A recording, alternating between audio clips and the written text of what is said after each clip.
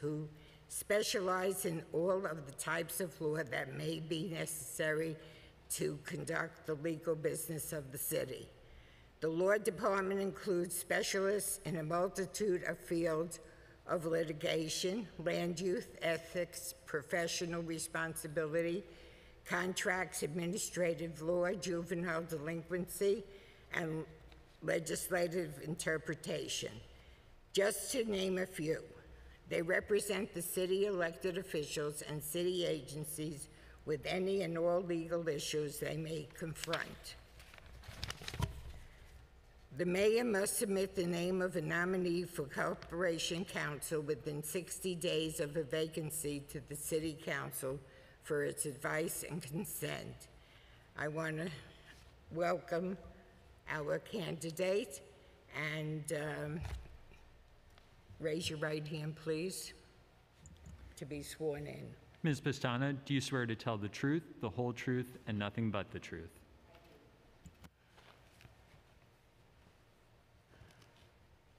Do you wish to make an opening statement? I was wondering. Good morning, Chair Koslowitz, uh, Speaker Johnson, and distinguished members of the Rules, Privileges, and Elections Committee. It is a pleasure to come before you to introduce myself and answer your questions relating to my nomination for appointment as New York City's 80th Corporation Counsel. Having worked at the law department for more than 33 years, words can't do justice to how honored I am to be before you for consideration for this appointment. As the mayor and others have noted since my nomination, I am the first woman and the first Latina to be nominated to lead an office with such a long history. The significance of those facts is humbling, but to my knowledge, I would also be the first attorney who progressed through the ranks of the law department and was then selected to be corporation counsel, subject, of course, to your consideration. I believe my training and experience over 33 plus years as an attorney representing the city, its officials, including the council and its members, and municipal employees in a wide variety of matters more than qualifies me to hold the position of corporation counsel. Everything that I have learned from my exceptional colleagues and supervisors, as well as from my clients in multiple administrations and agencies, and from my interactions with a variety of elected officials and their staffs, has shaped the lawyer that I am today. In my very first days at the law department, my first supervisor took care to explain that my obligation is to the city as a whole, and that I should always keep in mind that while it is nice to win, my job is to achieve the right result. Throughout my career, that has been the guiding principle of my work. Sometimes it is really difficult to know what the right result is, and as I progressed through the ranks of the law department, it became harder and harder as the issues became more complex, often involving competing legitimate interests. In all cases, it has been vitally important to listen to my clients. While I know or I can learn the law, my clients know the facts and the problems close up and are critically important to the analysis and to finding the solution. At the same time, the law department has more distance than our clients from issues presented and has less invested in defending the way things are, so that we can offer a more dispassionate assessment of problems and propose solutions. Throughout my career, I have done my best on behalf of the City of New York and in furtherance of the rule of law. My history and experience has prepared me well for the role of Corporation Counsel I respectfully request that you give me the opportunity to serve as the Chief Legal Officer of the City of New York. I'm happy to answer any questions you have. Thank you. Thank you. I now want to recognize the speaker who may wish to make an opening statement and ask you some questions. Uh, thank you, Chair Koslowitz. Good morning, uh, Ms. Pestana. Thank you for joining us today. I want to commend you on your impressive background and thank you for your decades of service for the city that we all love. As you know, we are here today, as the chair said, because I called for a Charter Revision Commission in 2019 and the commission recommended that the Corporation Counsel come before the City Council for its advice and consent. One of the reasons for this change in practice is that the Corporation Counsel is charged with serving as the lawyer for the city as a whole.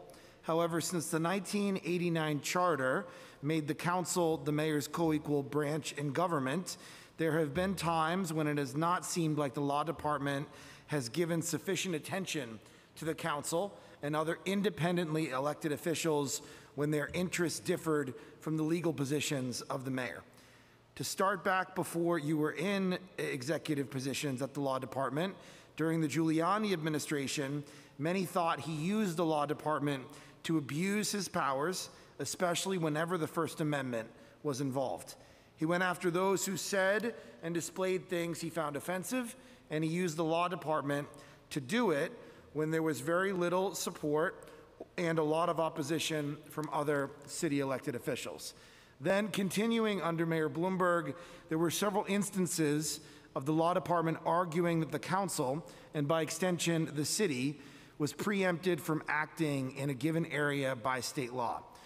There were also instances where the law department supported a mayoral position that the city lacked home rule authority to act in areas where the city had acted for decades around taxicab medallions. In fact, in the case about the prevailing wage law, the law department argued Mayor Bloomberg's position and chose not to defend a duly enacted city law. Then, when Mayor Bloomberg left office, the law department reversed itself and supported the new mayor's position, stating that, quote, the administration now agrees with the council and interveners that the prevailing wage law is not preempted. This was the exact opposite position from when the law department took orders from the mayor to sue the council, attempting to overturn a duly enacted city law. This type of legal flip flopping undermines public confidence in the law department's ability to make decisions about the legal position of the city in a thoughtful and impartial manner. Fortunately, we have had fewer of those instances recently, but there have still been instances where we feel like the council has been treated less like a client of the law department and more like an afterthought. Let me give you some examples. We have received drafts of briefs on important cases regarding the council and city powers merely hours before comments are due and told by the law department we have a few hours to get them in or we would not be included. We are not promptly notified when city council members are sued. And recently, we're only notified that a council member was named as a defendant in a case that had been filed months earlier. The law department did not give us the courtesy of telling us that a council member was being sued. In briefs involving claims against the mayor and council members, the arguments defending the mayor routinely are the focus of the vast majority of briefs, with a short section about the council only included at the very end of those briefs.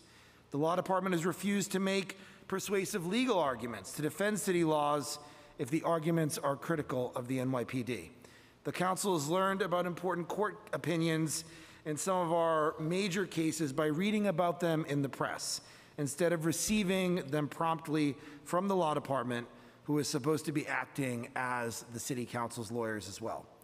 If the corporation counsel is to fulfill their charter mandate as the lawyer for the entire city, the council cannot be treated like this.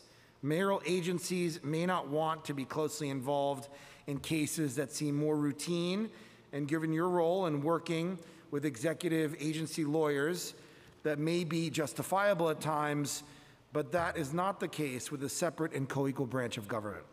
Our staff here at the City Council takes litigation on behalf of the council and our members with a high level of seriousness, the high level of seriousness that it requires. To be sure, there are divisions of the law department who work amazingly well with our lawyers and consult very closely with them. They even have drafted briefs together, and I want to point that out. I don't want to paint with a broad brush. We would like that to become the norm when issues of importance to the council, including our legislative powers, are at stake. So I am really glad you are here today. We want to make sure that all of city government sees the corporation counsel as their lawyer. And I know some of my colleagues will explore many of these issues further, but I want to jump right in with some questions if that's okay. Sure. Thank you. So the first question I have is about amicus briefs. Uh, the law department has prevented the city council from filing amicus briefs advancing arguments that espouse positions opposing those of the mayor. Why is the law department the correct actor to determine whether the council can file such a brief? Don't you think that the law department will always have a conflict? Because the law department will never want to allow the council to file a brief in opposition to your legal arguments in support of the mayor. The issue, excuse me, the issue of amicus briefs has been a contentious one uh, between uh, the law department or, and, and the council.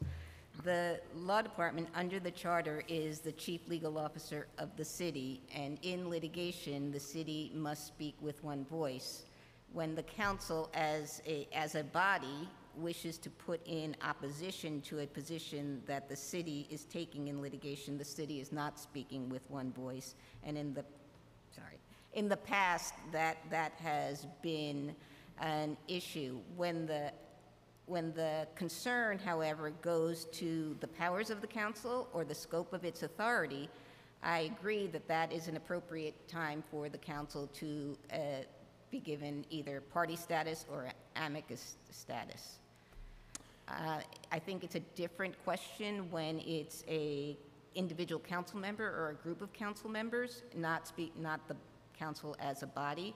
I think that individual council members have a, as much a right as anyone else to propose submission of amicus brief on their own behalf and that of their constituents because they're not speak, trying to speak on behalf of the city. I know that's a, a, a gray line sometimes, but that, that is the way I see it. I understand what you're saying, but, but, you know, again, the corporation counsel is supposed to be the lawyer for the entire city, and uh, when the corporation counsel determines that the council's position uh, should not be represented in a way, it doesn't feel like you are, uh, or the corporation counsel, whoever they may be, uh, really take our role seriously as a separate and co-equal branch of government. My very strong preference is to resolve those disagreements between the co-equal branches of government in intergovernmental discussions, either among the principals or uh, we work, as you noted, in most instances, work closely and well with council's legal staff to try to work it out amongst ourselves so that, and, and come, come up with a path forward that maybe not everybody loves, but everybody can live with.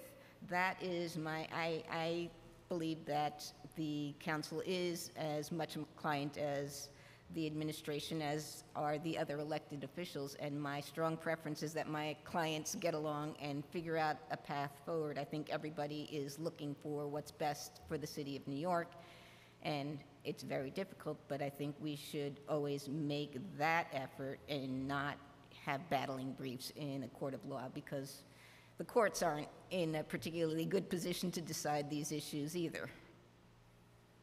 I just don't think that's been the case in the past. I understand what you're saying, that that's your strong preference, but I don't think that the council's been treated that way by the Corporation Counsel's office when it comes to making sure that our views are represented if there is some differing nuance and opinion. So you're making a commitment to have those conversations in a serious way with council members and with the body. I, I am, and if there are, this is not the right forum to talk about particular cases that you mentioned in your opening, but I would be happy to speak with uh, your staff about those particular matters separately in a private conversation. Okay. Uh, Do you think it is ever appropriate for the law department to argue that the city was preempted?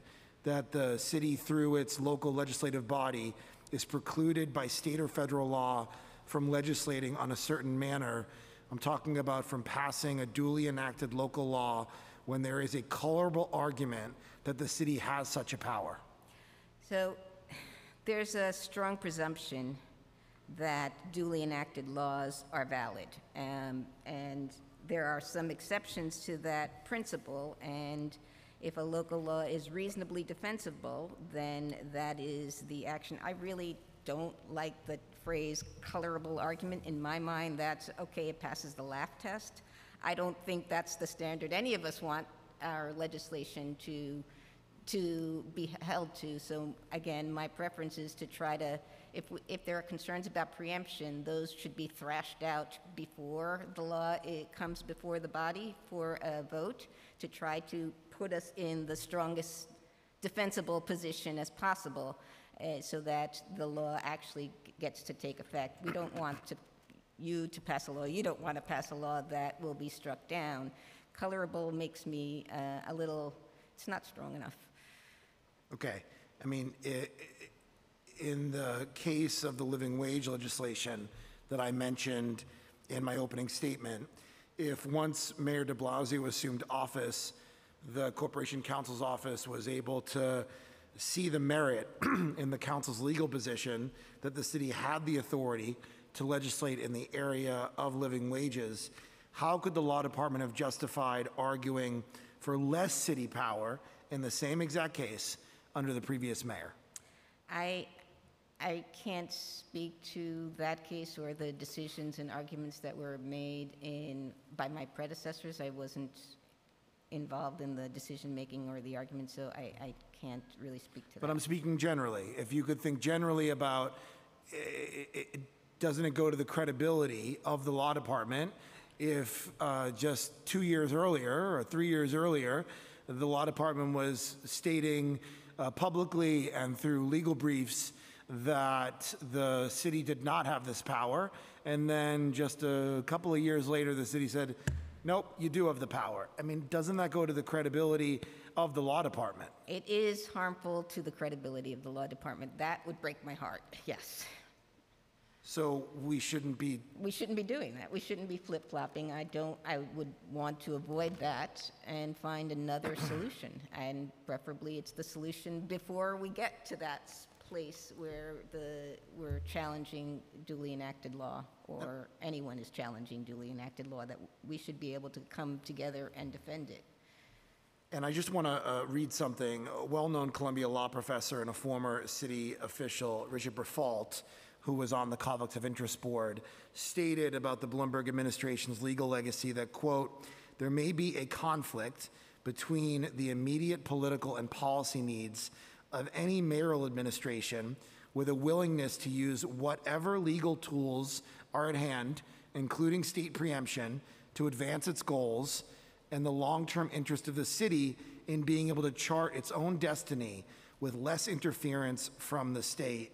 So my question after reading that statement is, how can you assure us that any future consideration of arguing preemption against a local law will center on the best long-term interests of the city in being able to chart its own destiny? I think that is an excellent principle to uphold. We are all interested in the best long-term interests of the city. No one wants to see this, or argue that the city is curtailed in a way that is just, is not a hard and fast um, conclusion. Thank you. Do you think it is ever appropriate for the law department to argue that the city lacks home rule authority to act in a certain area when again, there is a, maybe I shouldn't use the, the, the language, a colorable argument that the state legislature cannot act without a home rule request from the city? I- I, I don't feel it's appropriate for me to make sweeping statements without sort of the actual facts in front of me, but I'm, I would not, as, as we just, in sort of in this prior exchange, I would not be in favor of making any arguments that would diminish the city's powers and prerogatives. I can Okay. say that generally, but I can't speak to any particular matter without sort of the whole Well, facts. well, to give a, a specific instance that I hope you can speak to, in his talk on the legal legacy of Mayor Bloomberg, Professor Briffault, who I just mentioned a few moments ago, said, quote, "A particularly striking feature of the Bloomberg administration's approach to home rule is the attempt to blunt home rule by invoking state law and, on at least one occasion, actually securing the state law to limit the scope of the city's legal authority. He gave the example of the law department backing the mayor and giving back decades of city authority over taxicab medallions. How can giving up city regulations of its streets and transportation possibly serve the city in the long term? And if the city had for decades considered the issuance of taxi medallions a matter of local control, how could the law department at least not have tried to defend the city's authority there?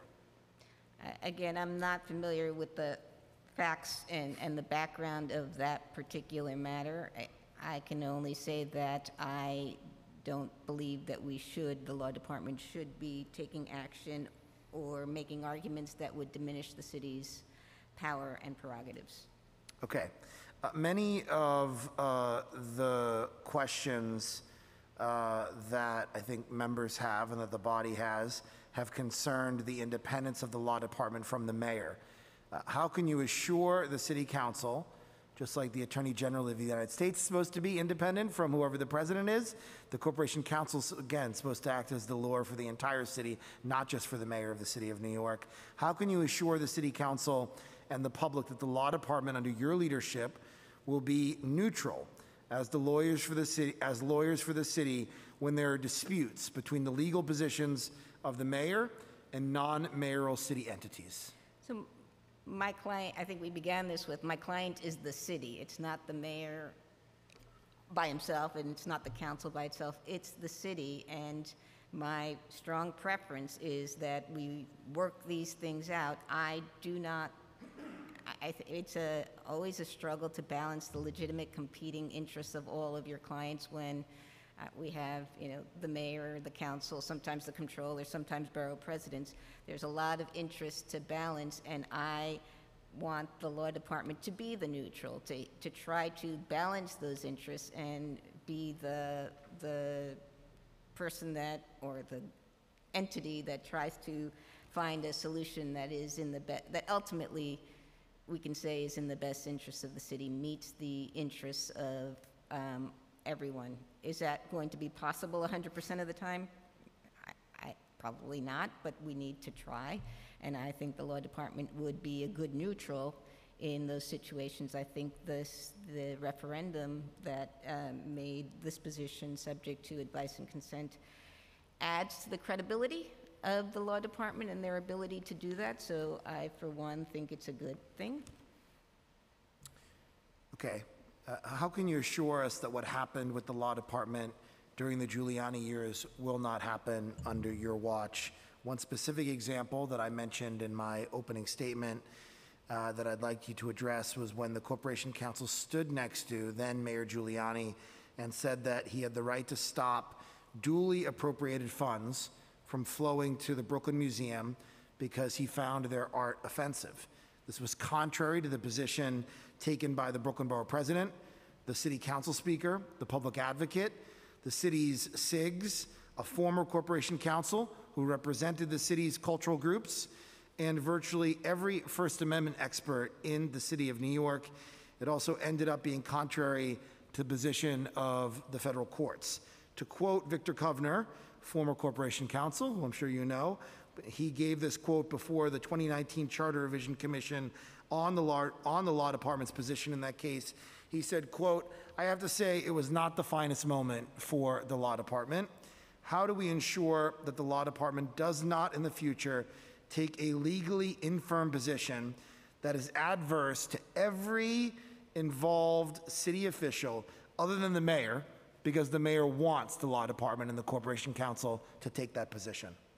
I have to agree with Victor Kovner. It was not the law department's finest hour. What I can say to you forward going that my commitment as a lawyer and a lawyer for the city for over 30 years has been to the rule of law. And we look at the law and we apply it evenly and with the weight of precedent and, and the arguments that uh, are in the best interest of our clients. I have a commitment to the rule of law.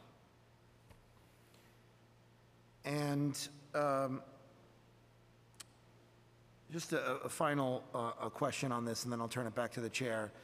Uh, and can you can you really uh, just uh, say to us, um, you know, steadfastly that the council speaker and the public advocate should uh, have been prohibited from filing their amicus brief in the Brooklyn Museum case if Michael Hess had been asked and denied permission, because without his permission, they had no right to be heard. What I'm saying is to get back to that earlier point that I made, the then city council speaker and the then public advocate uh, wanted to file an amicus brief, and they were denied the ability to do so. Do you think that that is appropriate?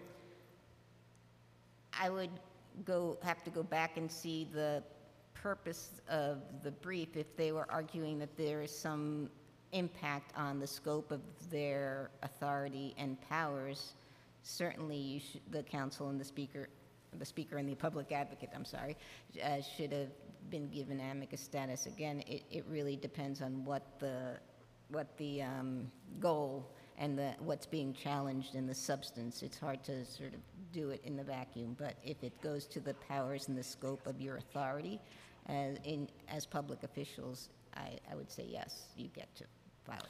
So the, the, the, the council ended up filing the brief, uh, and I believe the Corporation Counsel's office was not in favor of the council doing that. Uh, Again, it showed that conflict between the law department, uh, you know, taking into consideration uh, other non-mayoral entities uh, being able to have their voices heard on a very important and public matter. I- really appreciate you being here today. Uh, I really want to thank you for your decades of service to the city of New York. I think your uh, nomination uh, is exciting, and I'm grateful to everything that you've done. Uh, I do think that, again, there have been many instances, not just many years ago, but even in recent years, of the staff at the law department, some staff at the law department, I think not really working with the council well. Some staff has worked really well with us, and other staff uh, treats us as an afterthought, uh, does not give us proper time consideration when legal issues are arising related to the city council, uh, giving us just a few hours' notice to get in very serious uh, legal documents that are necessary, not informing us when there is potential litigation or there is, not potential, when there's actual litigation against a council member or the city council. I would like to change that. I would like to, you know, improve the relationship between the law department and the council uh, for the future. Institutionally, I think it's important, both for the law department and for the city council, to have a working relationship where it doesn't seem, where it doesn't feel like, for whoever the speaker is, or whoever individual council members are, or whoever the lawyers are that work here at the city council, the city council is an afterthought. That the, you know, that ultimately uh, notice gets sent to the mayor. What we're told often is, oh, sorry, we didn't tell you that. We told the mayor's office. We thought they were going to tell you. That is not the response. But that's what we hear quite often. I definitely agree with you that this is a relationship that could use some building, I- and the, the staff of the divisions that most commonly work with the council, the administrative and regulatory litigation division that works on defending a lot of your cases, as well as legal counsel, I know, work closely with the agency. The lawyers in other divisions that aren't so used to the relationship, they need to be trained up and recognize uh, that the council is a, is also our client and an important one, and we can work on that. I also, with your permission, would like to speak with your staff more about the particular instances that you raised so that we can um, understand, um, and, and they, we can both understand what happened there. That would be great. I would appreciate that. Thank you for being here today. I want to you. turn it back to you, Madam Chair. Thank you very much. Thank you. I'd now like to recognize our Minority Leader, Steve Matteo. Thank you, Madam Chair. Good morning and welcome. Thank you. Um, I have some questions for you. So given the definition of associated persons in the conflicts of interest law, do you agree that you're associated with the senior attorney at the law department? Yes, I am. And how are you associated with the person? We live together? I'm sorry? We live together? Have you ever recused yourself from any invol- matter involving this pers- person's employment in 2015 when you first became Assistant Corporation Counsel? I have been, 25, no, when I became, on- when I came onto the executive staff in 2013, I recused myself from all, well, all matters that he works on. And you So said, in 2013, you said? 2013 is when I got onto the executive staff, and that's when the supervisory relationship, you know, at least theoretically, started. So how was that done? Was it written documentation? Was it signed by a supervisor? It was done by me telling Michael Cardozo, who was the corporation counsel at the time, who had promoted me. He was aware of the relationship, but then we set up a system where, at that point, uh, the division that he works in was overseen by a different executive, Len Koerner. So there was, it would not have come up later on when that division, uh, and I can't remember, it might have been 2015, 2016, came under me when Len left, then we set up a firewall, basically a recusal, that any matter that he works on goes to um, the managing attorney, uh, J- Muriel Goode-Trufant. So I don't even know when they're communicating, it just happens. So there was a process set up, but was it written? Was there documentation? No, Or signed by anybody? It was not written, no. Okay, so what about in 2019 or 2021 when you became acting corp counsel? It, it's been the same process. He continues to, when he need, when executive staff eyes are needed on something he's working on, he goes to Muriel. So you consulted um, the law department ethics counsel, would that be fair to say? Uh, no, we did not. It was, we just continued the same practice that we had initiated back in 2015. That practice continued. So did you consult COIB at all? Uh, We consulted COIB recently, and the, the advice they gave was to, you know, as long as we kept in place the system that we put in place, it was okay. So when did you get that um, answer from COIB? Was that written? Yes, that was Friday, Friday? this past Friday. So wh- why don't, why didn't you um, get that back in 2019 or 2021? Honestly, it didn't occur to me to ask for that advisory opinion. It was the process that we had put in place years earlier, and it just continued. Should I have been more vigilant? Uh, Yes, So um, you said you received it last Friday? I got it on Friday, yeah. And when did you contact them or request? Uh, Friday. You got it the same day? Yeah, now I'm thinking, was it Thursday or Friday? It was Thursday or Friday, but yes, Wish I we could get sent that them the fast. letter, and then they sent it back late that night. And that's, you have that in writing? Yes. Okay. Um, Did you ever, ever supervise or make supervisory decisions regarding the employment, um, including firing, hiring, promotion, demotion, salary, discipline? No, Um, What about supervise any litigation matters from 2013 to the present? no, Meetings about litigation matters um, from 2013 to the present? not that I recall. Okay. So switching gears, in 2019, um, did you have a conversation with Mayor de Blasio about your interest in serving as corp counsel?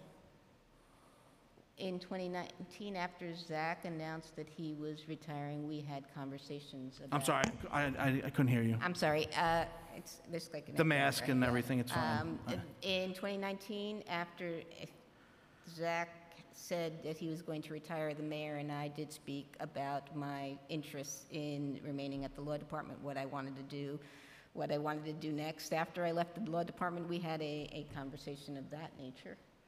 Um, So, you know, we we asked some pre-hearing questions that the committee sent you in advance, uh, being asked whether you were offered the position of corp counsel. Um, No, I was not. No, I'm sorry, no what? I- No, I was not offered the position before now. Okay, but you had a conversation about it. We, we did talk about the position, yes. Um, Just why didn't you disclose the conversation then in the pre-council hearing, uh, pre-council questions? I, I can't. Why didn't you disclose the conversation in the pre-council The questions? and answers? pre-council question was whether I had ever been offered the position, and I have not been offered the position. Okay, so just clear, we- but you had the conversation, whether... We, we talked about, I okay, mean, it was a couple of like freewheeling conversations. Okay.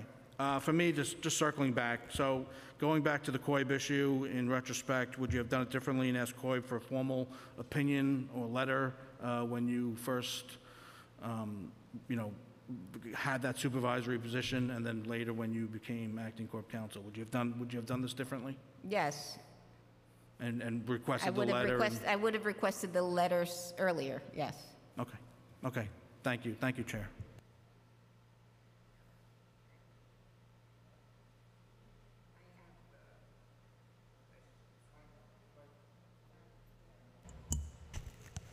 The council has experienced a number of issues with the law department related to basic client services, which the speaker alluded to before.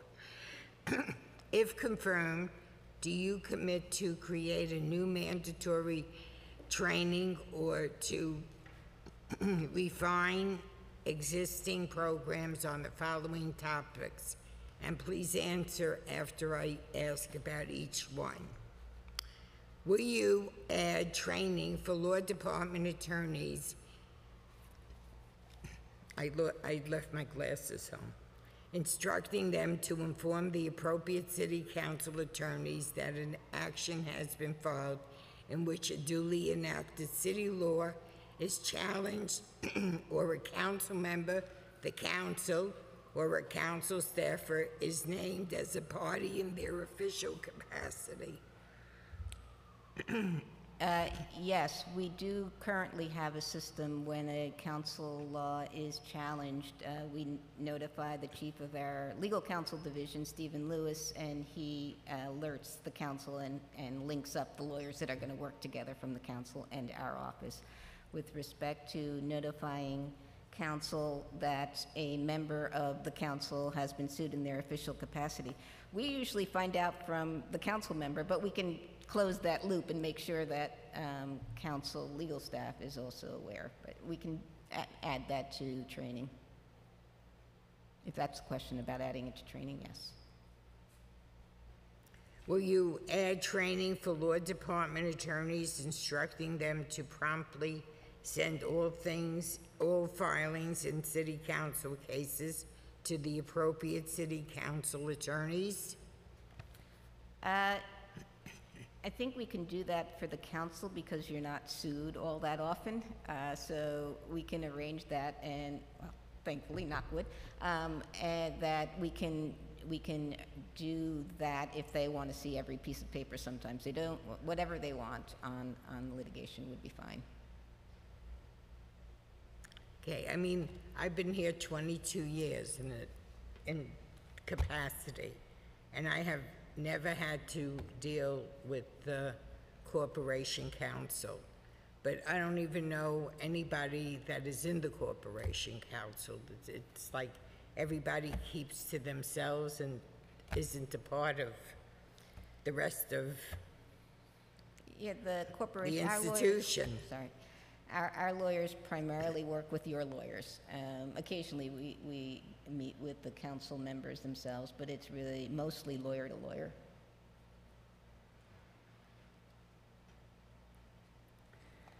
Will you add training for law department attorneys instructing them to send any letter or stipulation to the appropriate city council attorneys before sending it or filing it with the court? I, I will instruct our lawyers and train them that they should have conversations with um, city council legal staff to find out how much they want us to send them. Sometimes it's just a lot that's not really um, relevant or useful, but if they want to see it, it, that's fine. So that we can, we can ensure that there's that conversation that happens up front on the case. Will you add training for law department attorneys instructing them to provide draft, uh, drafts of briefs to the appropriate city council?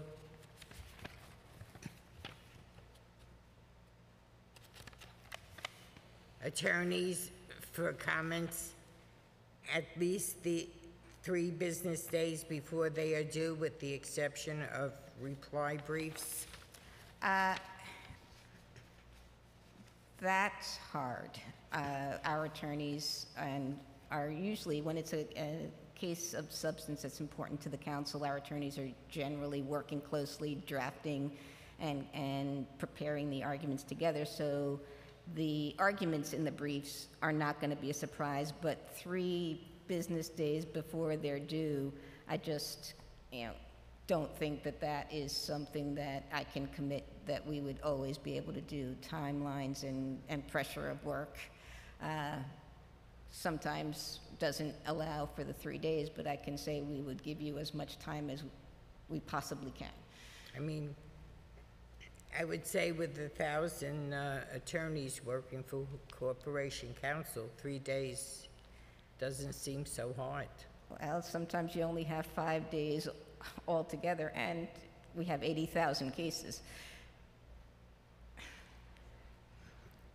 Will you add training for junior law department attorneys to describe the basic functions and structure of city government, including that the city council is the legislative branch of government and is co-equal to the mayor? We have um, a terrific training program on the structure of city government that is presented at least once a year. Uh, We can look at it and see if it needs freshening, but we've, we've been devel- delivering that training at least annually for a long time now. Okay, thank you. I'm going to open it up now to my colleagues. Uh, Councilmember Powers? Thank you, thank you, Chair, and so thank you for being here today. and Congratulations on your nomination. Um, Just a quick questions. One is I want to follow up with a question the speaker had, which was about the role of the council filing amicus briefs, and also, I think your response had noted, perhaps there are instances where an individual council member might, you might think that was a reasonable, reasonable for an individual council member to file an amicus brief, being that they're not representing the agency or the body here, they're representing themselves and their community. I just want to clarify that, since it's an issue that's come up in the past in this council and in previous councils, which is the role of individual council members. I just want to, I just wanted to, maybe you could restate your opinion, just so I could hear that again on what the individual role, or what the role, or where, where you think amicus, amicus briefs from either the city council or from individual members would be appropriate. So for individual members, um, I would say that, or have said that, uh, they- if they want to submit an amicus brief for or against a position that's advanced by the city in litigation, we would, just like any party, but, you know, both parties get to decide whether they're going to tell the court, no, don't take it. Um, But it would be evaluated as um, a proposal to submit amicus like anybody else. So do you have something useful to say that the court should hear?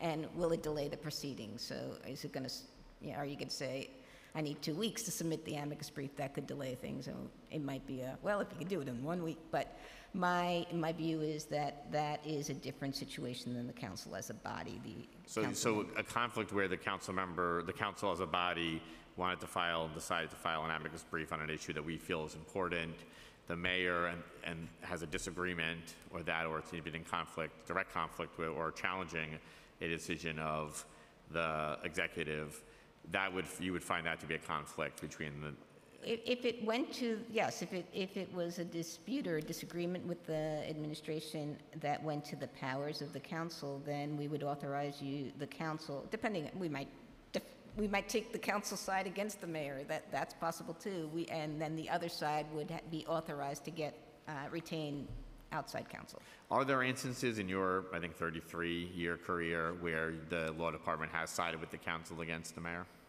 Um, yeah, I, most of my 33 years, I wasn't on the executive staff, so let, um, in the last, uh, let's say, eight or nine years, I can't really think of any. The, the, there's not a lot of mayor versus council cases in that time period either.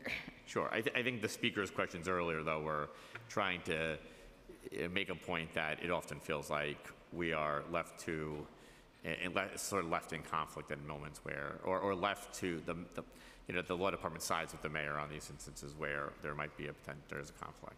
Um, just moving on, though, um, we had recently seen a number of affirmative cases at the state level, for instance, with the opioids, uh, the opioid crisis, where there was a, you know, huge settlements.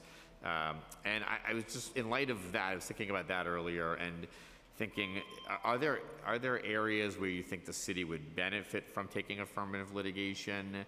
And when do you think that's important or practical? Um, The city has, does take a lot of affirmative litigation, and we created um, a small unit called the Impact Litigation Unit a few years ago that is dedicated to bringing, well, for a long time, we were dedicated to bringing cases um, challenging some Trump administration initiatives. Um, One of the cases, or two of the cases that we brought are against the opioid manufacturers and distributors, and we're part of the settlements that were announced. The, the amounts aren't calculated yet because it, it's a co- complicated allocation formula. So we did, we are involved in that, and we are also have been exploring more cases under the city's consumer protection law because that's a, that's a valuable tool. So yes, that is something that we are very interested in doing, and if uh, the council has ideas on more litigation we could bring, love to hear them. Got it. And what do you feel is the most important part of your office? You've been there for a long time. I'm assuming you've worked in different parts of the office. What do you feel is the most important function of the law department? I, I think I, I got to this a little bit in the, in the, in the discussion with the speaker, that I think we could be an honest broker sometimes, um, and that because we have so many clients with different uh, powers and, and authorities and interests, that if we can uh, convince you all that we are indeed a neutral, I think that that is a, a role that we can play in helping to achieve consensus and, and figure out a way forward for the city in some areas that um, maybe people have disagreements on. So th- I think that is a very important role, and I would love to play it more. Got it. I'll just ask two more questions out of respect for my colleagues' time. Just settling claims against the city, uh, can you just give us some sense of your approach to that? I think that different administrations have had different approaches to that, Giuliani versus Bloomberg, so forth and so on. Is there a particular approach or, The, the, the charter gives the authority to settle cases for money, the money cases, to the law department, the corporation counsel and the comptroller together. So we are litigating the case and at some point realize, sometimes early, sometimes late, that this is a really, uh, settlement is in the best interest of the city. And we go to the comptroller's office with our proposal as to how the case ought to be settled. Um, that relationship actually works well, um, and there's always a, a respectful give and take on the amounts and, and um, negotiation of it. So I don't think that I would change that at all. And my, my, just my final question, are there areas that you see right now where you would think about expanding the power or changing the power role? Uh, or, or doing something different than your predecessors when it comes to this role and uh, how it functions, how it works? Well, from the discussions that, that- that the speaker in- raised, I think that there is some repairs that need to be made to the relationship and, and a restoration of our credibility and, and a sense, and to give you all a better sense that we're your lawyers too. We take that role very seriously, and I thought, um, and I think that the, maybe the lawyers on the ground feel that more, um, but I think that that is an important, t- it would be important for me to invest time in that. Okay. Thank you for taking time, and I'll hand it back to the chair. Thanks to Chair Thank you. Koslowitz.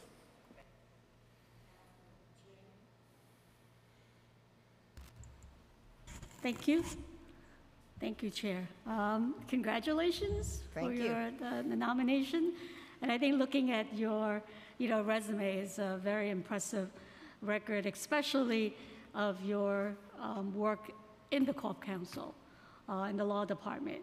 Um, My question is that, following what uh, your conversation with our speaker, I mean, we do look forward to sort of really working more closely together between the city council um, and the law department because of our legislative role. And one of the things that I wanted to ask is that how many staff are, are there a number of staff that are dedicated uh, to work with the council on our legislation? Because one of the th- concern I have is that frustration is that oftentimes everything waits till the last minute. You know, the legislation that we're working on, and then like we have to, um,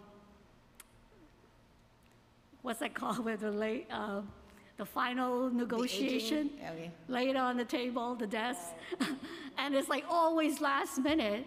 And like, I remember there were legislation that I had to wait, stayed up until past midnight to get it finally, you know, settled. Uh, so I guess my question to you is that since what you stated earlier, I mean, you, the Corp Counsel is the, the chief, you know, legal officer for the whole city, and council is part of the city.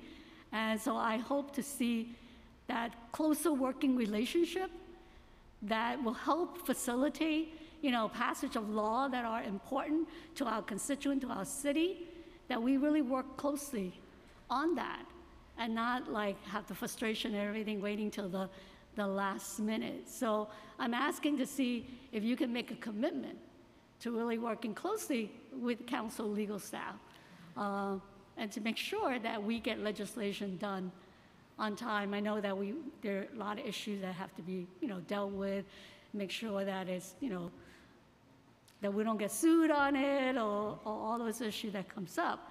But in terms of timing wise, there's got to be a better way of dealing with it.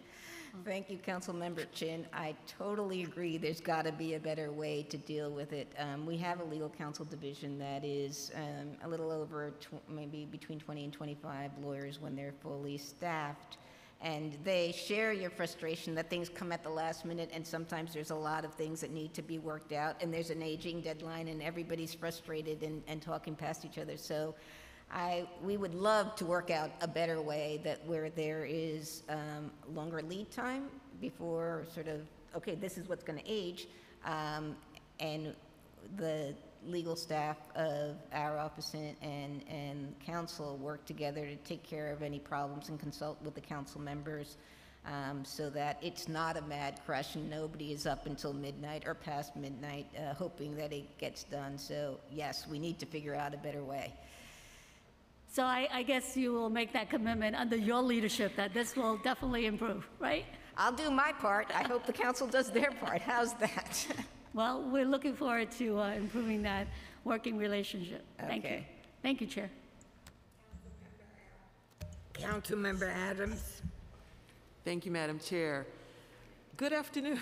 Good afternoon. Ms. Pestana, it's very nice to see you in person. It's good to see you too. And congratulations uh, on your nomination. We're um, so happy to have you um, give your testimony here um, to this body today. Uh, Along the same lines as my colleagues um, have asked, I just have two questions for you. The first one has to do with you being the leader of the entire law department. And of course, um, we know that uh, change, with change always comes a little bit of resistance. So with your commitment to making your non-mayoral uh, clients more balanced when it comes to the law department, how much resistance do you foresee within the department of making that become a reality? I- don't foresee resistance. I, I think that the lawyers at the law department are like me, that they really are there because they want to do the best for the city. And, um, and they really do think of their client as the city and not so much the mayor or the council or the borough president, but it's, okay, what is it for the city? So I don't expect resistance. I think it's uh, partly, and I'm sorry, I don't remember who raised it, I think probably the speaker, making sure that the conversation is ongoing and that the voices of the council are included and heard, particularly on initi- initiatives that are important. Um, Okay, thank you. And um, my last question has to do with your uh, pre-hearing response to question nine. And the question was, if there is a dispute regarding a litigation tactic or suggested revisions to a brief to be filed on behalf of the city council, a city council member, or any other non-mayoral city entity between the relevant city attorneys on behalf of the agency and the assistant corporation counsel handling, or, I'm sorry, and the assistant corporation counsels handling the case, how do you think such a dispute should be resolved? And your response um, was, was a little vague. I would like for you to ex- expound on your thought a little bit um, with regard to the answer to that question. Uh, You state um, that you try very hard to resolve disagreements through thoughtful and respectful discussion and can usually come up with a satisfactory path forward. But I'd like for you to expand on that thought a little bit more. So i- it begins at the staff level, the attorneys handling the matter and the council, and the council at the council uh, staff trying to work out the, the differences and the disagreements, and slowly it rises up, I guess, in both, uh, at both the council and at the law department, and ultimately it would come, if no agreement could be reached, ultimately it would come to me, and as the chief legal officer, I would be called upon to make the decision as to which way we would go. But I, you know, have to take into account the concerns of my clients, um, because, as I said before, the client knows the operations and what is most important to them, so it's important to listen and, and try to address the concerns as best we can before we, we take the step forward. But ultimately, it is the obligation of the Corporation Counsel to make the decision. Okay, thank you. I, I think I just extracted what I needed to hear, is that you would take the lead on that. Um, Oh, yeah, it- it's gotta on- be me. On that, yeah, yeah, which I didn't see here. So thank you very much for your testimony today. Thank you. Thank you, Chair. Councilmember Rose? Thank you, Chair. And um, I too want to offer my congratulations on your nomination. Thank you. Um, I I have um, some sort of process questions. Um, Is there, are are there a backlog of cases that um, the Law Department has? And how long does it take for a case to actually get litigated, like from the time it's filed until the time of settlement? So that, n- not every case is the same, and we all know that this past year has been a little strange, so the courts were not moving as quickly, so we'll, we'll pay for that in the, in the coming years. But in the ordinary times, in state court, it's not unusual for a case to be five, eight, ten years old before it comes to conclusion. In the federal courts, it moves much faster, usually, you know, two years, um, three, maybe, um, to the conclusion. And that, and by the conclusion, I mean that's a case that's fully litigated, not necessarily settled. Earlier settlements is some. If we see a case that needs to be settled, or we decide settlement is the right result here, we try to do that as early as possible to avoid, um, you know, delay and spinning of wheels and a growing, ba- growing a backlog. Is there anything that you can do internally to expedite that, these cases, so that it, it doesn't, that that time frame can be reduced? It, it's. Is it a we- matter of staffing? Is it a matter of, you It- know? It's, it's, I think, a, a few different things, and, and, you know, one thing that did come out of the pandemic is that we started meeting regularly with, um, uh, the chief, the deputy chief administrative judge in New York, um, to come up with a, a mediation program that might fast-track so- the resolution of some cases, so, mm-hmm. you know, we had, since the courts weren't fully operational, they were operational for the entire time, but not, people couldn't come in. That was a productive thing for us to work on with them. So w- we need to partner more with the court system to find things like that that would help eliminate some of the delays. Um, in terms of, uh, of lawsuits that are filed against the city um, by a sort of repeat, multiple lawsuits that we've, you've had to litigate against the same person. Uh, I'm speaking um, primarily about police officers that come before you that um, have had multiple lawsuits. Um, Is there some sort of process that, uh, that they're looked at and uh, so that the city isn't, you know, constantly, you know, being held, held liable for the actions of repeat um, police Yes. officers who find themselves, you know, being sued? Yes, um, we have a, a risk management unit that is, that looks at things like that, looks to see if there are repeat defendants um, or even patterns that are arising in particular precincts or, or something like that. And we have weekly, that risk unit meets weekly with the NYPD's risk unit and flags these uh, individuals as well as any trends that we see from the incoming cases um, to the police department. And they have an early intervention unit that also sort of digs deeper to see sort of, we just have the piece that involves litigation. They have, they have access to more and can dig a little deeper and see what's going on there and, and try to um, take some action. Um, And my last question, um, could you just tell me uh, what your feelings are about qualified immunity and, um, and the law department?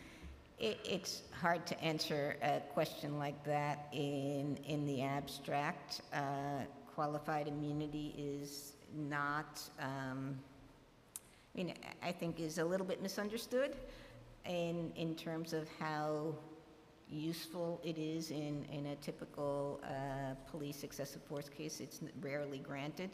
So I, I just don't, can't answer that in the abstract, I'm sorry. Okay. Well, thank you so much. Thank you, Chair. Councilmember, Councilmember Lander. Thank you very much, uh, Chair Koslowitz, and I would just want to thank you uh, for this hearing at all, and I want to uh, praise both the speaker and the members of the council staff who made sure that this got on the 2019 Charter Revision Commission. I think being able to do advice and consent with Corporation Counsel is a really good step forward for the council and for the city, so thanks to you and to the council and the team and, and the speaker. Uh, Ms. Pestana, it's great to see you here this morning. Congratulations on your nomination. Obviously, the Law Department is a place of uh, great esteem. Uh, you know, I'd, I'd count myself fortunate to have learned from uh, Fritz Schwarz and Victor Kovner and Zach and Jim Johnson. So it's, uh, and as whatever, just even listing them, it's all men. It's great to have your nomination. And as you say, it's great to see someone who's really spent their whole career working, you know, in the city legal position. So um, congratulations.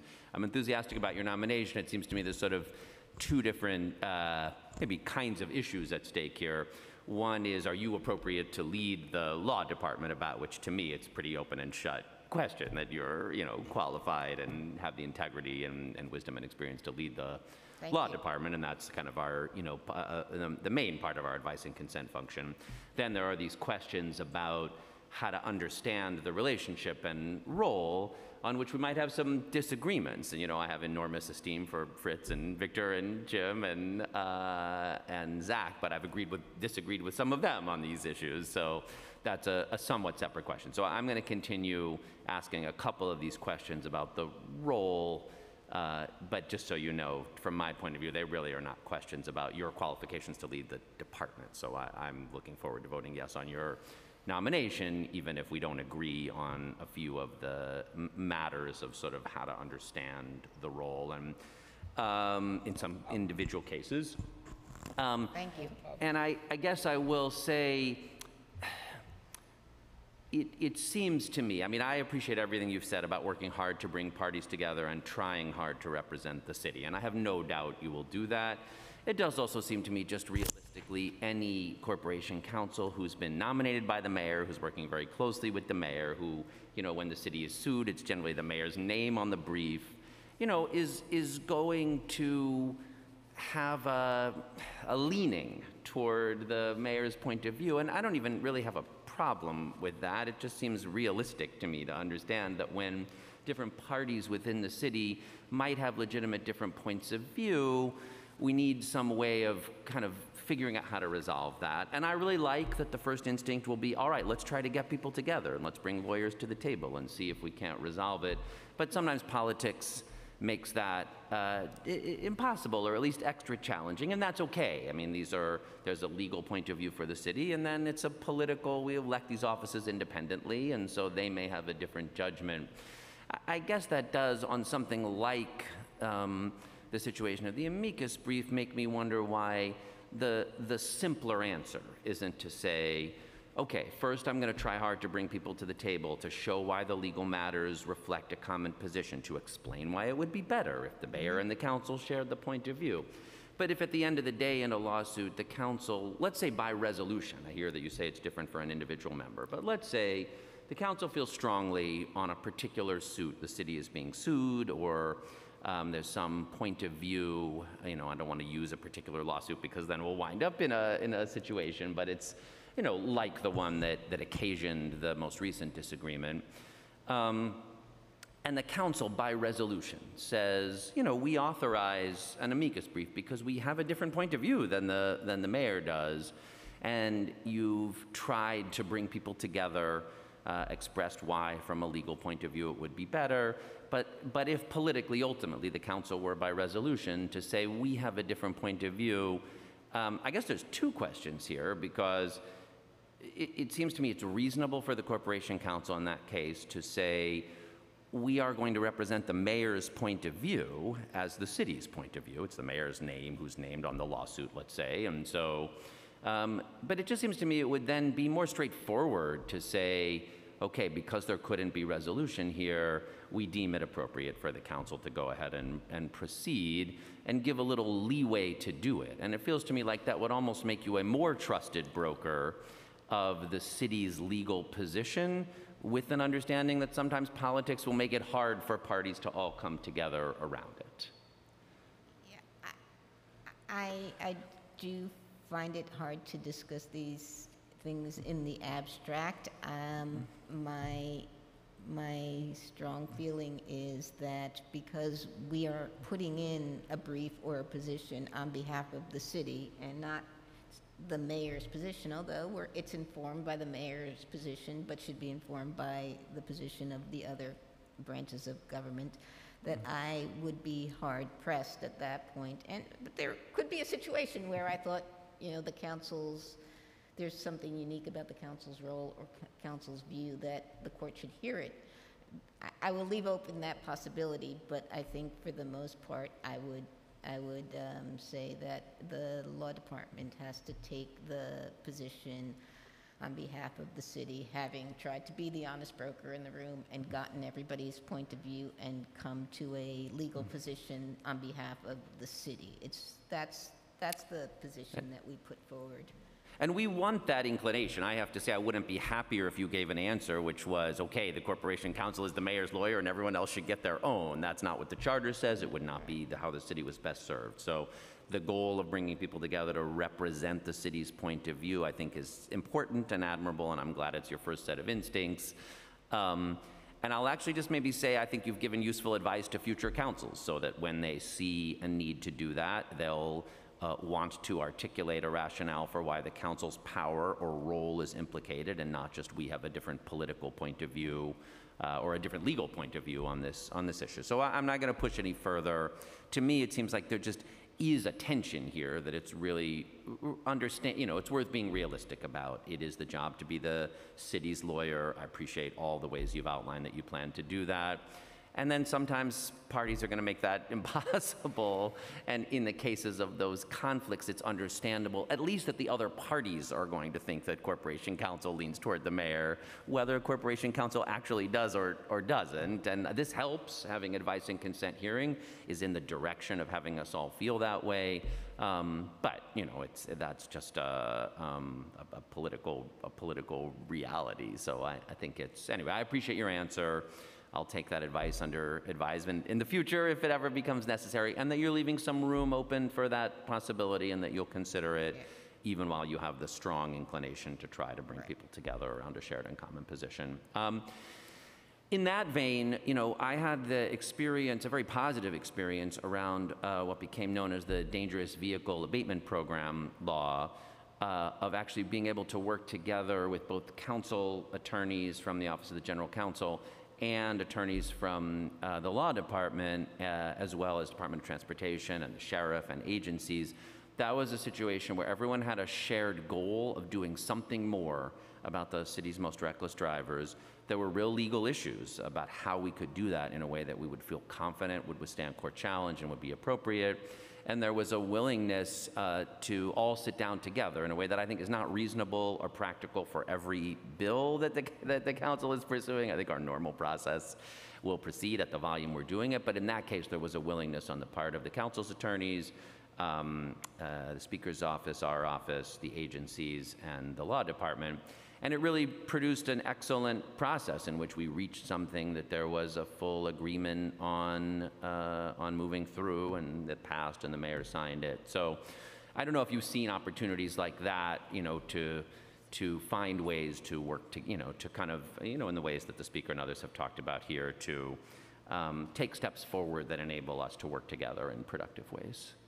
I, I think that that's a beautiful example of how we want to work with the council going forward. And I do think, you're right, it's not necessary in every bill. Some things are straightforward, but I do think that something like that would address the issue that Council Member Chin raised, that sometimes it's a mad scramble at the end, had there been sort of the conversation when there, when there are um, when it's a complicated bill, and, and we all know where we want to get to, but there's dispute or, or dis, or trouble in figuring out the best legal way to get there, I think that that would, uh, would be an excellent tool, that, the example that you, you've provided, um, for, for eliminating some of the problems that, that Councilmember Chin was alluding to, um, in terms of the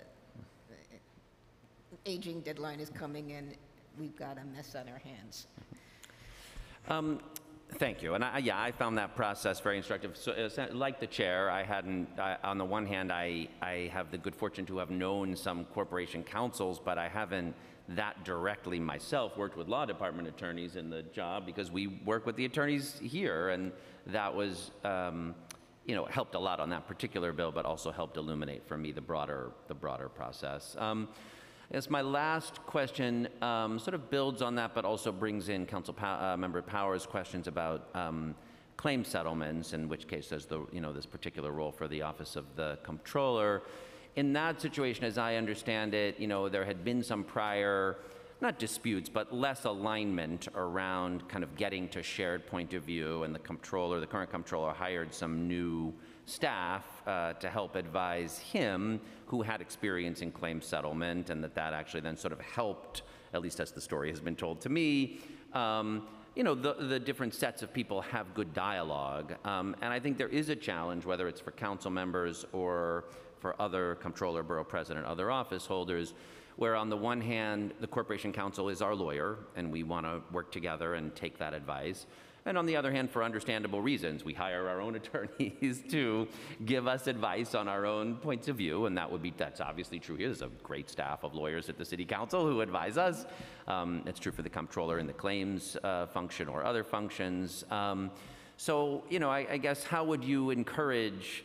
uh, other, you know, elected officials other than the mayor who are going to be engaging legal counsel to help advise them in the functioning of their duties to think about that role, what they're looking for, what kind of advice we want, and then how to, um, you know, you know that sets up, then there's going to be two sets of lawyers, so maybe they'll agree sometimes and maybe they won't agree sometimes. And how should, how, you know, how would you encourage us to, to proceed in, uh, in hiring people for those positions and then approaching the challenge of sort of reaching a common point of view?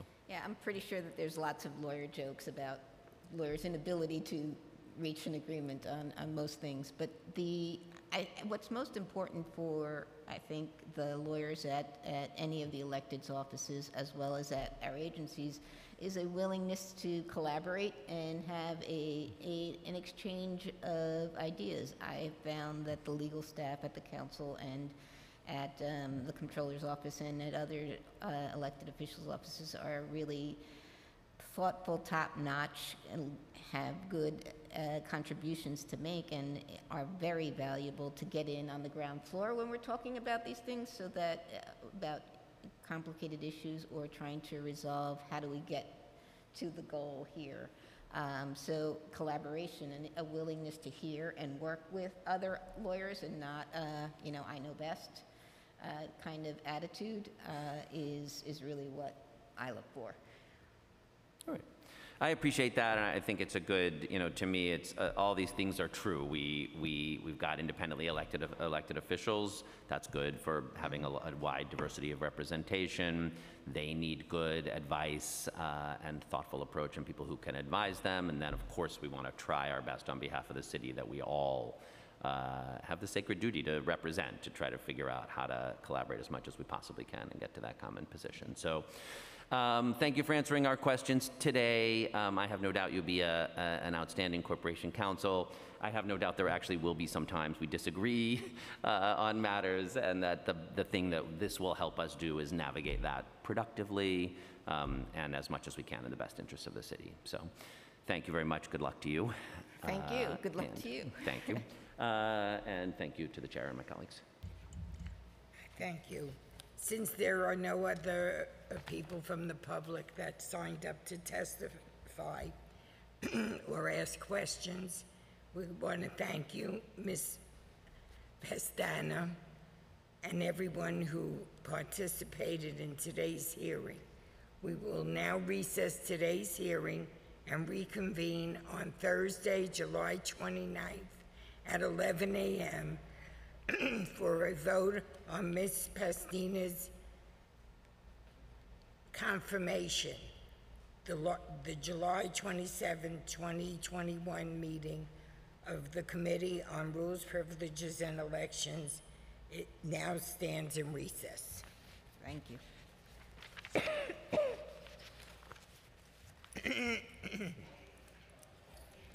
This is, this was uh, one of our longest meetings.